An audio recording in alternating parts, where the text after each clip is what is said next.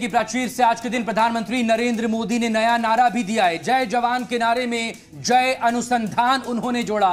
जय जवान जय विज्ञान जय अनुसंधान अंतरिक्ष से समंदर तक युवाओं को मदद। रिसर्च के लिए युवाओं को भरपूर मदद ये भी प्रधानमंत्री नरेंद्र मोदी की ओर से कहा गया। इस वक्त बड़ी खबर आपको बता रहे प्रधानमंत्री नरेंद्र मोदी ने आज नया नारा दिया।